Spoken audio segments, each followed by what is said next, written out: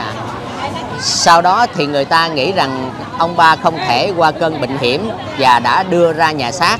Ông đã trốn về và nhờ người nhà đưa trở về nhà. Many people thinking that he will die, but uh, suddenly he come back home uh, and uh, live uh, day by day. Very uh, wonderful day. Dạ. Lúc đó thì ông thấy ở la- chùa Bửu Hưng Tự đã bị người Pháp truy quét rất là gắt gao cho nên ông dời nhà về làng Kiến An chợ mới để sống nghề làm rẫy qua ngày.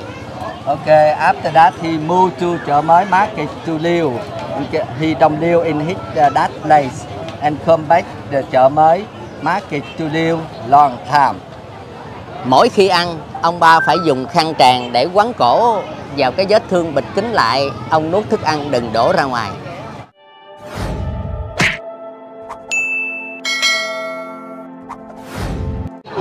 Mô Bổn Sư Thích Ca Mâu Ni Phật. Nam mô A Di Đà Phật. À, kính thưa quý vị, hôm nay là ngày mùng 6 tháng 4 năm 2023 thì chỉ còn 3 ngày nữa là đến ngày à, lễ kỷ niệm viên tịch của ông ba Nguyễn Văn Thới.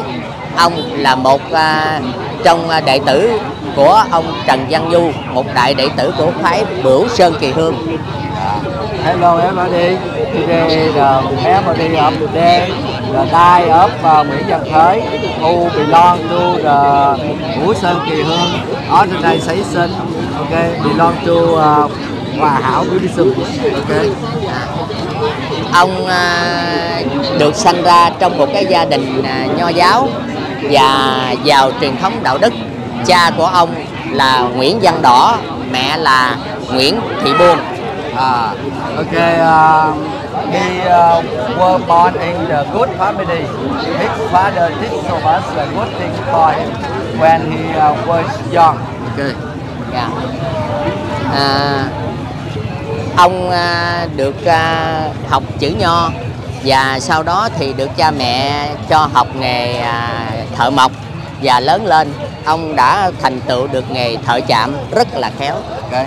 When he was young, he uh, studied so much about the Chinese uh, work. Okay, and studied so much about the, the killing in the wood uh, cutlery. ông ba có một dáng hình cao ráo da trắng và ông để tóc để râu theo người xưa tóc ông rất dài xả xuống chấm ót gót Okay, uh, especially he had uh, long hair. Okay, very long hair, and uh, he was young. He's uh, little, look like the uh, our father and the ancestor. à, ông ba tánh tình rất cương trực và thẳng thắn à, việc gì không làm thì thôi hễ ông làm thì phải cho bằng được không bao giờ bỏ cuộc Okay, when he thinking the good thing, he try, he try his best to do everything. When he think that is a good thing, he try his best to do. Okay. ông là người thích xem hoa và trồng kiển Okay, he uh, like to make the garden and every day he go to to make the farm. lớn lên ông được cha mẹ cho gá nghĩa với bà Thình người ở cùng thôn Okay, when uh, the older he get married with another one in the village. à, sau khi hai người gá nghĩa với nhau ông và bà Thình có với nhau 8 người con bốn người con thì đã bị bệnh mất và còn lại bốn người con hai trai và hai gái Okay, finally he have uh, four, four people, four children. Okay, especially five, five children but die four. Okay. à, và đến năm 1906 ông đã ý thức được cuộc đời là giả tạm và hiểu về chân lý đạo đức Okay, in 1906 he uh, tried to find the good life, the good master for studying.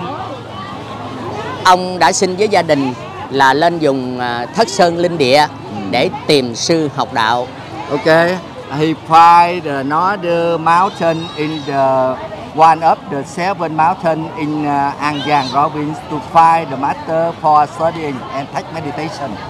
Và sau nghe khi nghe được mọi người dân địa phương đồn đãi rằng với cái tài năng và cái công hạnh hiền đức của ông Trần Văn Nhu, À. con của Đức Cố Quảng Trần Văn Thành là một đại đệ tử trong hệ phái Bửu Sơn Kỳ Hương của Đức Phật Thầy Tây An. He uh, tried to find a good master for studying. One day he chose the uh, person, uh, the children of uh, Trần Văn Nhu to Yeah. study. Và con của ông Trần Văn Thành Uh, uh, a Quảng child Cơ of Trần Văn uh, Quảng Cơ Trần Văn Thành, the hero of Việt Nam. He uh, study. Dạ. thiên Dạ. Và sau đó thì à, ông à, được à, chính thức quy y vào năm 1907. À, ông rời ông dời nhà đến chùa đến ra Thành Mỹ Tây gần chùa Bửu Hưng Tự và sinh sống tại đó vừa lo học đạo mà vừa lo hàng ngày trong bổn phận gia đình. Okay, in 1906 uh, and uh, 1907, he find a good place, a good pagoda to do there and take meditation and praise for the Buddha there. For a long time. và sau khi à, một bữa nọ ông ba tỏ ra là người ngay ngay. Và ông đã nói với bà ba dọn cho một căn phòng để hàng ngày ông chỉ ở đó tịnh dưỡng và không ra khỏi phòng chỉ trừ vào ban đêm. Especially he uh, find a room and tell with uh, mother. He try to take meditation there. Okay. và lúc đó thì ông đã viết được à, quyển à, à, dân tiên quyển thiện từ và quyển cổ giảng kim lai Okay, in that time he have a time to write three book. Okay. à và một hôm thì ông đến à, xin à, tạ lỗi với thầy là ông Trần Văn Nhu và ông để trong khai hộp ba trái ớt và ba cây roi And one day he go to find the teacher, the master, and say hello and sorry everything. Okay. ông nói với ông hai là xin tạ lỗi vì ông đã không làm tròn cái bổn phận hiếu nghĩa đối với thầy Okay. He said that he have some mistake and she cannot do the good thing like the teaching of the master. Dạ. Được ông hai à, chấp nhận và rất là quan hỷ vì biết ông ba sau này sẽ là một đại đệ tử của phái Bửu Sơn Kỳ Hương. The master thinking that uh, the day after, uh, in the future, uh, the follower will be the good one, the hero for the Vietnamese. Okay. À.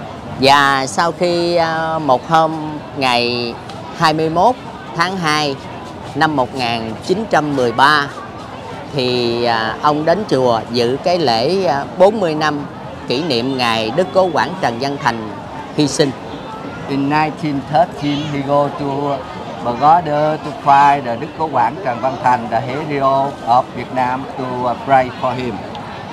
và bị ông Nguyễn Văn Thẩm là người cháu của à, ông Trần Văn Nhu đã báo với Pháp đến dây chùa.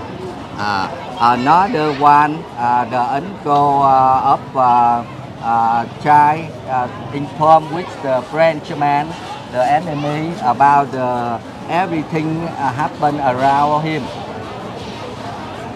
ông hai Trần Văn Nhu chạy thoát. Ông ba cũng đã thoát thân và 56 người bị bắt cùng con ông ba là Trần Văn Tuấn Okay, uh, Trần Văn Nhu, hero, and Mr. Uh, the Master Ba uh, it kept, and uh, about 50 people get uh, about the in uh, enemy. Dạ. À, buồn cho cái à, thời giận mà dân chúng phải sống với lại ách đô hộ của người Pháp và thầy phải xa tớ, cha phải là con, anh em phải tương tàn. He feel very sad when he see many people around. Okay, uh, cannot um, good. Okay, he, he very sad. He feel uh, he thinking that uh, uh, people the same country. Why do they share the happy the the sadness together. They don't share the happiness. They share the sadness. Okay. He very sad. Sau 3 hôm, ngày 24 tháng 2 năm 1913, ông ba đã cắt cổ bằng lưỡi hái để à, tuẫn tiết tỏ lòng trung nghĩa với nước non, với thầy tổ và nghĩa tình đối với quê hương đất nước. Okay, in 1913, he tried to cut his neck. Okay, to to for people thinking that he tried his best to keep the uh, country and rotate the country over from the Frenchman. Sau đó thì người nhà đưa ông đến bệnh viện Cần Thơ, à, đến bệnh viện Châu Đốc để băng bó nhưng ông ba cự tuyệt. After that, uh, people take him to the hospital for the cure the the patient, but he uh, don't like and come back home. Yeah. Sau đó thì người ta nghĩ rằng ông ba không thể qua cơn bệnh hiểm và đã đưa ra nhà xác. Ông đã trốn về và nhờ người nhà đưa trở về nhà. Many people thinking that he will die, but uh, suddenly he come back home uh, and uh, live uh, day by day. Very uh, wonderful day. Dạ. Lúc đó thì ông thấy ở la- chùa Bửu Hưng Tự đã bị người Pháp truy quét rất là gắt gao cho nên ông dời nhà về làng Kiến An chợ mới để sống nghề làm rẫy qua ngày. Okay, after that he moved to chợ mới market to. Okay, He don't live in his uh, that place and come back the chợ mới market to live long time. Mỗi khi ăn, ông ba phải dùng khăn tràn để quấn cổ vào cái vết thương bịt kín lại, ông nuốt thức ăn đừng đổ ra ngoài. Especially he make the knees like this when he eats. It- It's very difficult for eating. Và kể từ đó thì ông ba đã sống trong đời tịnh hạnh và viết ra thêm 6 quyển giảng. Okay, especially at this time he tried his best to write six books. Okay, very best so. Ngồi buồn, My book one, à, à, kiện tiên, Kiến Tiên, kim cổ kỳ quan, Cổ Kỳ Quan, tứ đại, Tử Đại, cáo thị Cáo Thị. và thừa nhàn. Okay, six book very good one for human being. Now we reach very good for the life. Dạ. Sống giữa một cuộc đời có biết bao nhiêu là thử thách gian nan. Cuối cùng đến một năm 1926, ông ba đã nói với bà ba Năm mấy? năm 1926 À, nói sao? nói với bà ba. À, vợ ông Vâng, vâng. lúc này mấy giờ rồi Ngày chín trăm mấy? 1926 In 1926, Vào ngày, he, à, hai- vào ngày he mùng told chín. with uh, his uh, wife ngày mùng 9 à, tháng 2 năm in the 1926 and uh, à, ngày 9 tháng uh, tháng 2 tháng à, Tư. 4 Tư. mùng 9 tháng 4 the, năm the, 1926 the night uh, and um, January he uh, he told with his wife he will die. Dạ. Ông hỏi bà ba mấy giờ rồi Okay, he, he asked with uh, his wife, what time is it? Bà ba nói là 10 giờ đêm It's 10. Okay, 10 o'clock. Ông nói từ đây 10 giờ đến 5 giờ còn xa quá Và thời gian đã trôi qua đúng 5 giờ Ông ba đã thu thần nhập tịch At 5 o'clock, he tried to uh, to die in a very peaceful time. Dạ. Và chính bổn mà ông đã viết gọi là chung là Kim Cổ Kỳ Quan, một tác phẩm vô giá trong kho tàng Phật pháp của hệ phái Bửu Sơn Kỳ Hương đã được lưu đời ngay lúc đó. Okay, if we have a chance, we will try to find the book Kim Cổ Kỳ Hoàng. That in that book have a nice book, very wonderful. Have people live the good life, good thing, do everything good for the life in the country. Ông dặn con cháu rằng chừng nào mới được lệnh mới xem quyển Kim Cổ Kỳ Quan khi ông cho mọi người treo lên trần nhà. Okay, he uh, hand a book in the the top of the house, uh, and uh, he said that when we have uh, order, we can read that book. Và thời gian thấm thoát trôi qua đến năm 1939, Đức Thầy khai đạo tại làng Hòa Hảo. In 1939, the Master Bình Phú Sổ opened the new uh, um, the new Buddhism in Hòa Hảo. Okay. Con ông là người con trai thứ sáu cùng với lại ông Út Hòa ở làng xóm đã qua xin quy y với Đức Thầy. His child and another one in the neighborhood go to find the Master Bình Giáo Chủ to pray for and um, want to uh, become uh, become the followers. Và Đức Thầy đã nói rằng ông về tìm lại quyển Kim Cổ Kỳ Quan đó là chung gốc để tu hành. The Master Bình Giáo Chủ said that uh, you come back home and find the Kim Cổ Kỳ Quan to reach it's the same organization. Kể từ đó gia đình đã làm lễ trước cửu quyền thất tổ và tam bảo được hạ cái quyển hạ cái gương có cái cuốn sách mà ông ba viết xuống để mở ra xem. On that day, the child and the neighborhood decide to read that book in the top of the house. Sau khi mở ra xem thì đúng là quyển Kim Cổ Kỳ Quan được ông ba viết bằng chữ Hán Nôm. Okay, especially he try he write that book by the Chinese word. Okay. Và sau đó được các cụ nhà nho trong làng dịch ra bằng tiếng Việt để mọi người được xem như ngày hôm nay. So uh, the many good teacher try to translate into Vietnamese for people. Trong quyển Kim Cổ Kỳ Quan, ông ba đã nói rất nhiều về đời Hạ Nguyên Mạt Pháp. Okay, in this book, um, Mr. Thới told so much of say that uh, in the recent time, many things happen around. It's not good for human being. Giận hạn con người nào là hạn hán, bệnh dịch, thiên tai, động đất, đói khát. There are many things happen around here, uh, hurricanes, eruption, and die of COVID. Ông còn tiên tri trước về cảnh hội Long Hoa Thánh Đức sắp khai mở. He uh, told so much about the future time happen around. Và sau đó thì ông đã diễn tả lại cảnh đời Thượng Quân Thánh Đức, một cảnh vô cùng màu nhiệm, thiên liêng, tuyệt diệu, an hòa cho tất cả mọi người. Okay. Finally, he told us about the future time will happen very good things around for the good people doing right time. Và tài sản trí tuệ vô giá đó được lưu đời đến mọi người cho đến ngày hôm nay tất cả đều nhớ đến công ơn vĩ đại đã dùng trí huệ siêu nhiên của mình truyền tải cho tất cả mọi người một thông điệp Phật pháp để cố gắng tu thân hành thiện vui cảnh đại đồng.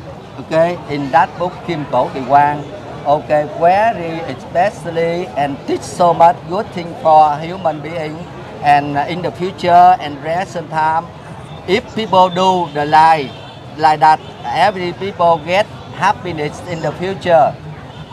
Và đến hôm nay chúng ta rất diễm phúc được trở về nơi đây để thành kính vọng bái ân lành nhân ngày ông ba tịch diệt.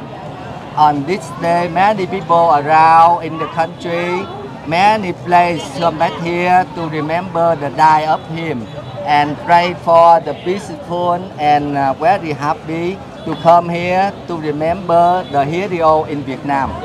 Xin chúc cầu cho tất cả chư quý đồng đạo ở đây được tận hưởng một mùa đại lễ kỷ niệm ngày ông viên tịch luôn an lành, ấm no, hạnh phúc trong từ quan Phật Pháp. Thank you very much for the meeting and the, the many people around here in this day. Okay, very happy to everyone in the Vietnam and the world. Okay, thank you. Ok, thank you. Dạ, Nam Mô Di Đà Phật. Đây, cầm giùm em cái sư huynh ơi. Đây, quay ha. À, vâng và kính thưa quý vị, à, video thì cũng đã dài rồi. À, Châu Phú xin chào và tạm biệt quý vị tại đây. Cũng không quên cầu chúc toàn thể quý vị và các bạn có nhiều sức khỏe và vạn sự bình an trong cuộc sống nha.